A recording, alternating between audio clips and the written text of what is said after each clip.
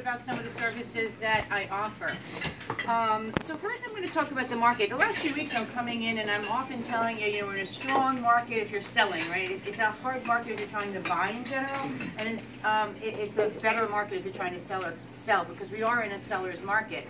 However, not every home is going to sell with multiple offers. So for example, in the last 10 days, it's been a super busy uh, month. I had six listings go on. Three of them within a week had multiple offers and went over asking price. But the other three did not. Um, and I do have listings that are on 30 days or 60 days or longer. So um, there's two things that we, I need to do. Is um, we need to understand the local market and we need to understand the home. So what I have here is um, a market report for single-family homes. So single-family homes in Westchester, you can see the prices, the sales are up by 10%, but overall the prices are down. You're looking to sell in to see how your market is doing. Um, so Irvington is the first one I ran, and actually this is only a quarter, uh, a quarterly market report for Irvington, so it might be a little bit off.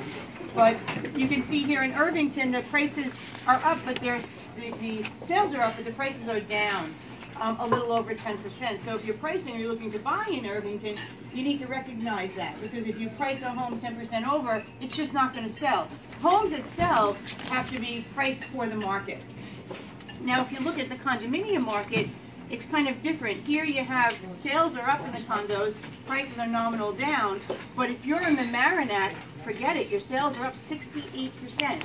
And um, your price is up 26%. So if you're pricing a home to sell in Mamaroneck and it happens to be a condo, you're being super aggressive. Where if you have that single family home in Irvington, you need to be more modest. So what's very important is you need to understand where are you're selling and what type of property. Is it a single family? Is it a co-op? Is it a condo? Is it a multifamily home? So